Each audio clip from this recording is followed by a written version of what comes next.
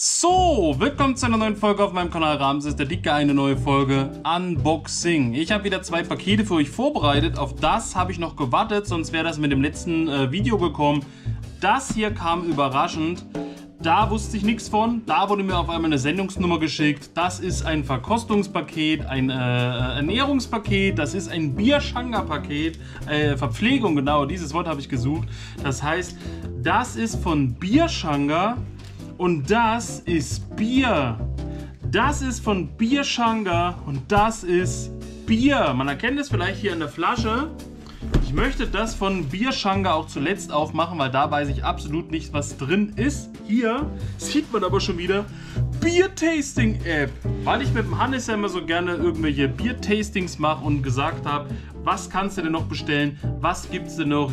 Forste mich immer durch die Einkaufszentren. Wenn ich dann eine Bierbox sehe oder so, nehme ich das mit. Sehe ich eine, einen Fass, nehme ich das mit. Sehe ich eine 3-Liter-Flasche, nehme ich das mit, um Biertasting mit Hannes zu machen. Jetzt haben wir schon wieder irgendwelche Dosen gehabt, dann haben wir schon wieder dies gehabt, das gehabt, jenes gehabt. Und das ist das Einzige, was ich jetzt noch gefunden habe, äh, was wir noch nicht getestet haben. Und ihr werdet es nicht glauben, es ist schon wieder das beste Bier der Welt, weil alles, was du irgendwo bei Amazon oder so findest, als Boxen, als Sets mit verschiedenen Bier drin, ist jedes Mal IPA und Pale Ale. IPA und Pale Ale. Ihr wisst, Pale Ale ist richtig bitter, schmeckt wie Spülmittel, total künstlich. Und noch schlimmer als Pale Ale ist IPA. IPA ist so bitter. IPA ist bitter. IPA ist richtig Chemie einfach nur. Ich kann nicht verstehen, wie man das überhaupt trinken kann. Jetzt ist hier ein schöner Zettel dabei. Das ganze Ding ist nämlich Meisel and Friends Pure Passion, also purer Brechreiz in Perfektion. Und jedes Mal, wenn wir IPA trinken, verzieht sich das ganze Gesicht. Es ist so brutal. Was das jetzt aber genau ist, das erfahrt ihr ja dann im Biertasting. Ich kann euch nur zeigen, dass das 1, 2, 3, 4, 5, 5 verschiedene Sorten sind, 5 verschiedene Biere mit verschiedenen Alkoholgehältern hier 6,3, 6,6, 5,2, 5,3 und ein alkoholfreies ist auch noch drin. Das West Coast IPA kenne ich sogar. Das gab es mal beim Street Food Festival. Wer das Video gesehen hat vom Street Food Festival in Coburg, der wird das sogar kennen. Ich glaube, das Pale Ale von Meisel Friends gab es dort auch. Das heißt, eigentlich ist nur das normale IPA, das helle und das alkoholfrei neu. Aber Hannes war ja nicht beim Street Food Festival dabei. Deswegen kennt der die nicht. Das ist also dann der Karton. Da sind die alle drin. Müssten zwei Biere jeweils sein von jeder Sorte. Ich kann nur ganz kurz mal gucken nach. Der Flasche ist eine kleine Flasche, jedes Mal 330 Milliliter. Aber das muss ich wie gesagt dann mal testen mit dem Hannes, wenn der Hannes hier ist. Das genau, das müsstet ihr kennen. Das ist dieses West Coast IPA, was absolut schrecklich schmeckt. Jetzt kann der Hannes dann, wenn er kommt, das auch mal erleben. Das machen wir jetzt wieder zu. Wie gesagt, wir wollen euch nicht alles zeigen, weil das seht ihr im Bier-Tasting. Ihr wisst aber jetzt, dass wir hier dieses super was war das? Oh, meine DVDs sind alle runtergefallen. Dass ihr auf jeden Fall wisst, da wird irgendwann noch was kommen. Machen wir jetzt mal das Paket vom Bierschanga auf. Der Bierschanga, der macht, der kocht ja immer, der legt ja immer ein, der macht auch immer Soßen, der würzt, der speist, der macht einfach wie das Herz begehrt. Könnt ihr ja selbst auf YouTube verfolgen. Gebt der Bierschanga ein, also großes B, 3-3, großes R und dann Yanga, ne? Bierschanga, also könnt ihr auch alles klein schreiben, ist egal, hat denselben Effekt. Was hat ihr jetzt hier drin? Ich habe immer noch mein Lecho von Bierschanga hier rumstehen. Da muss ich mir vielleicht mal so ein Schnitzel kaufen. So ein einzelnes Schnitzel in der Packung, das mal machen und probieren, damit wir hier äh, nichts liegen lassen. Hier ist eine Karte. Plätzchen naschen kannst du auch später.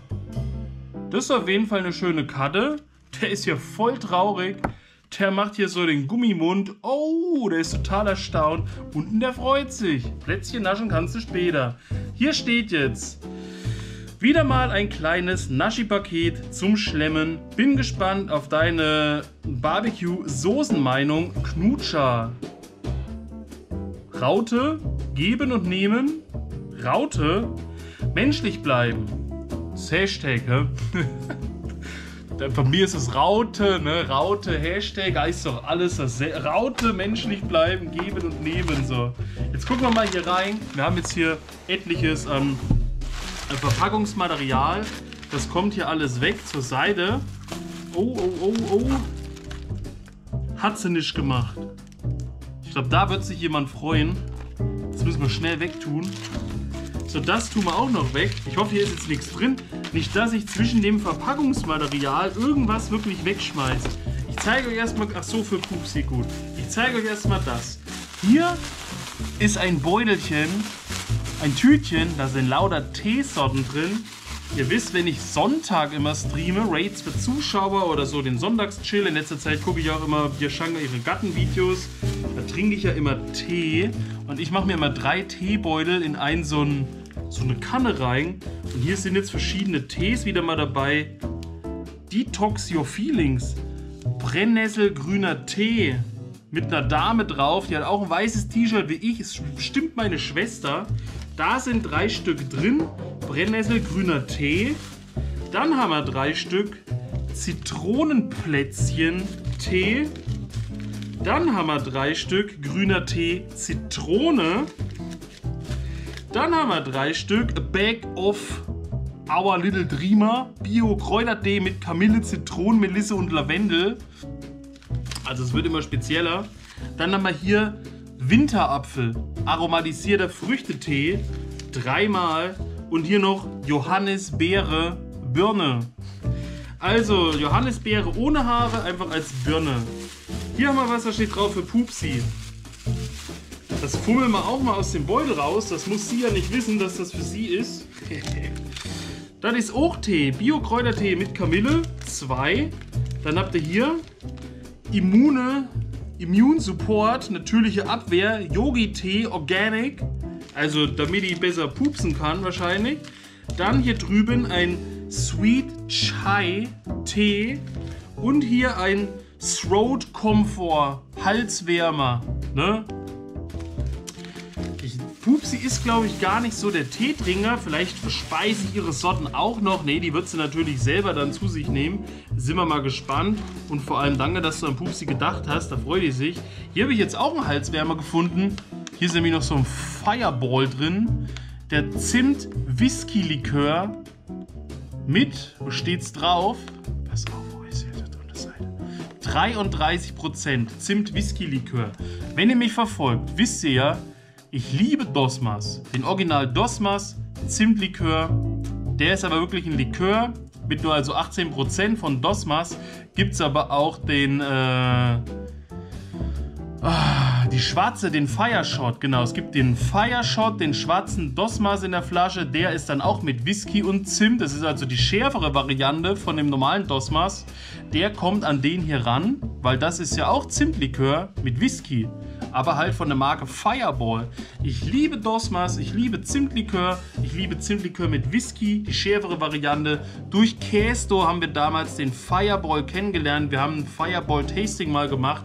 Also das kenne ich wie meine Westentasche. Ich werde ihn auch jetzt direkt hier aufmachen und hier trinken. Prost auf den Bierschanga.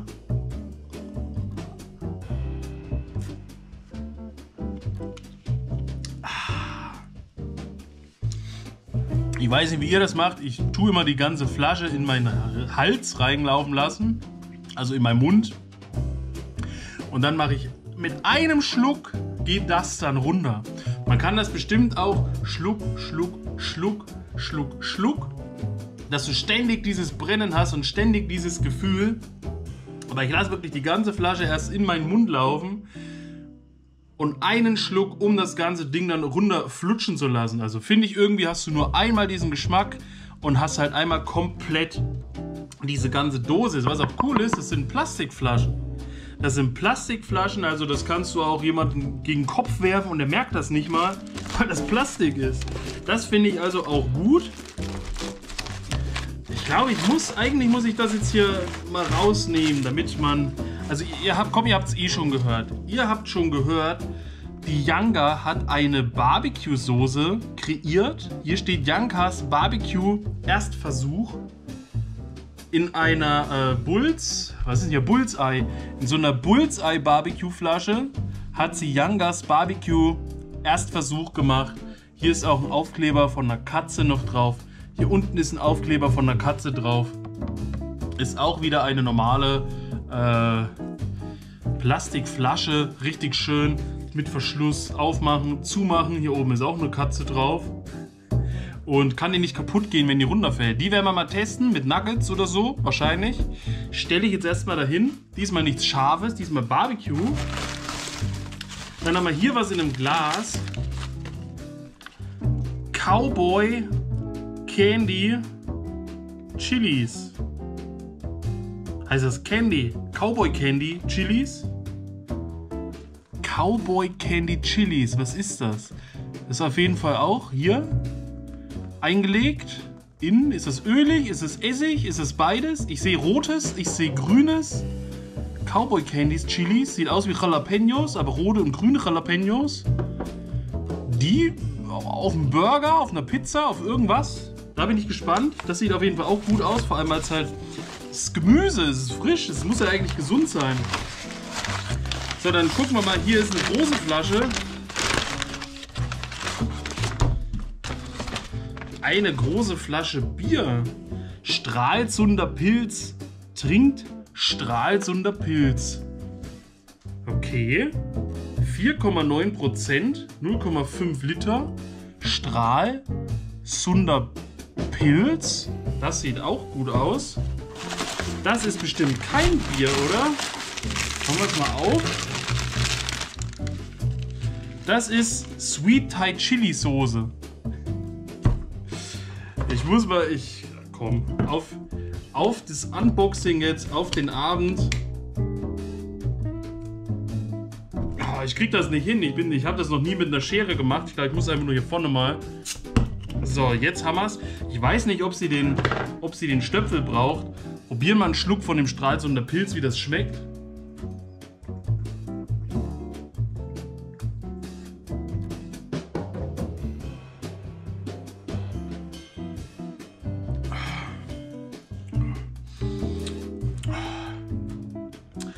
Schmeckt wie wenn du dir hier im Edeka hier Ratskrone holst oder irgendwas.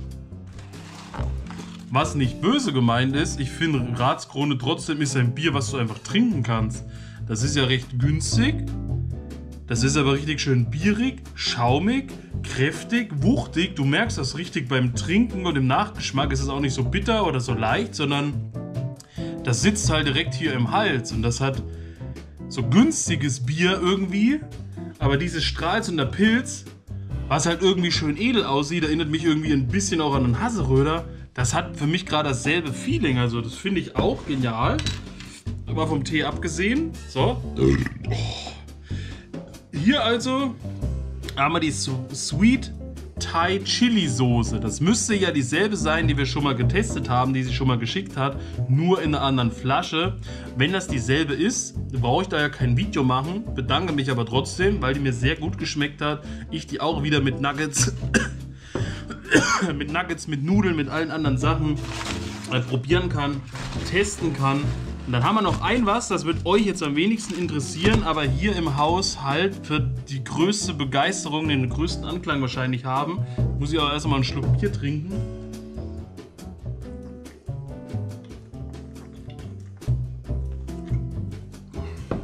Ich weiß ja nicht, es ist so warm auf einmal. Ich war kurz, das ist bestimmt der Fireball. Der Fireball, der heizt hier richtig ein. Wenn ich den Karton weglege, und euch zeigen, was hier als letztes drin ist. So, pass auf. Ein Set Uno-Karten von Pokémon. Ein Uno-Kartenspiel, ein Pokémon Asia Uno-Kartenspiel, Card Game, Made in China. Uno Pokémon. Inklusive zwei Special Rules. Ich weiß nicht genau, wie die aussehen. Kann man das einfach aufmachen jetzt? Ich weiß, Marie hat schon so gerne immer hier Uno gespielt, Mau Mau hin und her, bla bla bla, hat schon auch äh, themenbasierte äh, Spielkarten und Sets gehabt. Die meisten hat sie dann verschlummert oder hat sie dann weggeworfen. Aber weiß ich nicht. Die sind hier extra nochmal eingepackt. Guck mal, wie schön die aussehen. Einfach hier Uno. Richtig bunt. Dann drehen wir es mal um. Hier eine 1. Eine 1 haben wir auch da. Habt ihr einen Wünscher. Guck mal. Ein Wünscher mit Kwajutsu. Die Karten sind schön rechteckig. Ich dachte bei den anderen, die sind immer am Rand irgendwie ein bisschen abgerundet. Die wirken auf jeden Fall mega glatt. Ich würde die mir so gerne einfach mal alle angucken gerade, aber muss ich ja das ganze Spiel aufmachen. Vielleicht kriege ich das auch hin.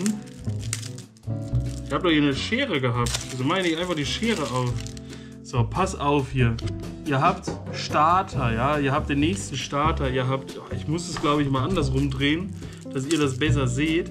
Wir nehmen uns die Zeit und gucken jetzt uns einfach auch nochmal die Pokémon an. Ich hoffe nur, der Akku hält durch. Junge, wo ist das hier zugemacht? Äh, komm mal her. Du hast mich eben schon vorgeführt, du kommst jetzt hier raus. Also da wird sich Marie, denke ich mal, wirklich freuen.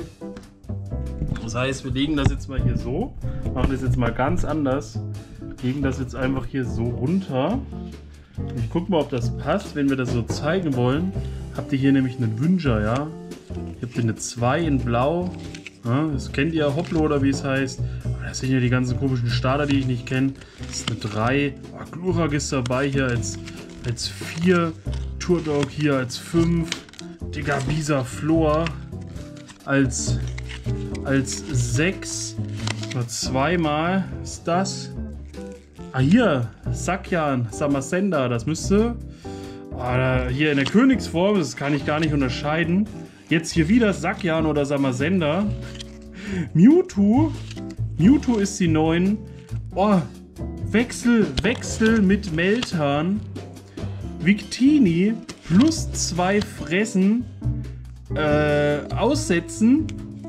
Mit Incognito. Pikachu 0. Dann hier wieder 1. Plus 4 Fressen. Die ganze Evoli-Familie. Ditto, Wünscher. Das ist richtig krass. Dann haben wir hier jetzt wieder die verschiedenen Farben. Das seht ihr, das geht alles hier drin mit grün. Das ist richtig cool. Danke, Bierschanga. Ich weiß jetzt schon, das darf ich Marie nie in die Hand geben. Also wenn wir mal spielen wollen, dass ich das auspacke, dass ich das danach auch wieder einstecke. Sonst weiß ich das... Oh, Relaxo. Relaxo, der Wünscher schwarz. Guck dir das an. Sonst ist das halt leider so, da, da, da tust du das Set hin, und nach zwei, drei Tagen so fehlen dann plötzlich 20.000 Karten, obwohl es viel weniger eigentlich sind. Und das ist halt schade, aber so geht die halt mit ihren Sachen um. Das heißt, wir blättern jetzt nochmal hier durch. Ihr seht, das ist jetzt auch alles hier auf gelbem Hintergrund, dass ihr die vier verschiedenen Farben habt. Hier Mewtwo wieder, Victini, alles dabei. Die Cognitos, Pikachu, Chimpep oder wieder heiß Relax. Oh, oh, oh bei Jutsu hier, ne? Tauchen Karten auf. Ich glaube, die Wünscher sind immer alle anders. Wir haben Relaxo-Wünscher. Wir haben einen, habe ich schon wieder vergessen, Wünscher. Der Fireball, der wirkt immer noch, merke ich gerade. So, Mewtwo. Hier, Victini. Alles klar. Und nochmal Pikachu hinten. Also das ist, das ist wirklich genial. Das ist, weiß ich nicht. Liegt wahrscheinlich daran, weil ich Bierschanga damals das, äh, das, das Lego Mau Mau geschickt habe.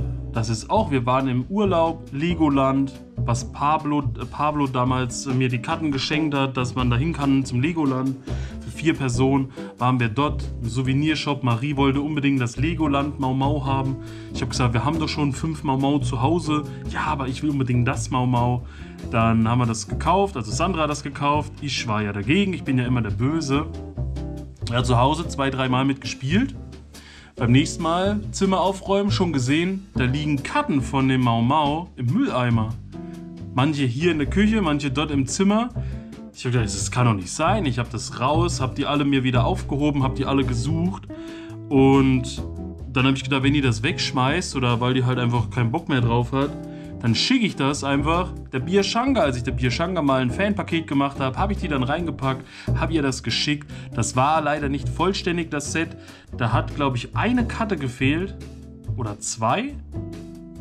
Auf jeden Fall hat, nachdem sie das hatte, und ich habe das in dem äh, Video gesagt und Bierschanga hat das gesagt, war Marie natürlich sauer. Und ein paar Tage später hat sie in ihrem Zimmer sogar die fehlende Karte gefunden. Hat dann gesagt, ach guck mal, hier ist noch die Karte. Naja, ist eh zu spät. Also so ungefähr hat sich die Geschichte zugetragen, Jonathan Franks. Und vielleicht ist das jetzt die Retourkutsche, weil ich ihr das Lego Mau Mau geschickt habe, schickt sie mir das. Was ist das? Da hinten sind Tiere. Schickt sie mir das Pokémon Uno, das Pokémon Mau Mau. Mau Mau und Uno ist doch im Prinzip genau dasselbe, oder nicht? Jetzt habt ihr so ein Stapel Karten, hier noch mit Relaxo. Das ist auf jeden Fall cool. Danke Bierschanga, das muss ich in Ehren halten. Und niemals an Marie geben, immer bei mir behalten, dass da nichts wegkommt. Und da kann Jonas auch noch mitspielen später. Da kann ich mit der Mama spielen, da kann ich mit Pupsi spielen. Wenn Scheinux kommt, kann ich mitspielen. Wenn Hannes kommt, können wir mitspielen. Also, wenn ich Bierschanga mal wieder sehe, können wir mitspielen und gucken, ob noch alle Karten da sind. Das ist wirklich das. Das freut mich jetzt extrem. Also ich habe das zwar als erstes gesehen, als ich das Paket aufgemacht habe, aber mir ist gar nicht in dem Moment bewusst geworden, wie schön und wie toll das eigentlich ist. Jetzt, wo ich mir die Karten angucke, merke ich erstmal, dass das halt einfach cool ist, dass das toll ist, dass das, weiß ich nicht. Ich bin ja gar nicht so ein Pokémon-Fan, komplett. Aber das finde ich jetzt schon wieder richtig genial. Ansonsten war es das jetzt von meiner Seite aus. Das Paket ist leer. Danke, Bierschanga. Wir haben ein Bierpaket. Wir haben ein Paket von Bierschanga. Checkt mal Biershangas Kanal ab. Ähm, die kocht auch immer gern. Die zeigt euch auch, wie sie ihre Soßen macht oder andere Gerichte und zeigt euch ihren Gatten. Geht trotzdem auch wandern, macht auch Challenges, Salt Chip, Hot Chip, alles was es da so gibt. Äh, ja, ansonsten würde ich sagen, war es das jetzt von meiner Seite aus. Wir sehen uns beim nächsten Mal wieder. Bis dahin, Peace out, Vorhaut, euer Ramses. Und wenn ich es nicht vergesse, werde ich der Bierschange ihren Kanal auch unten nochmal verlinken. Und ich merke immer noch den Fireball, deswegen muss ich den Rest von dem Bier noch kurz wegschlürfen.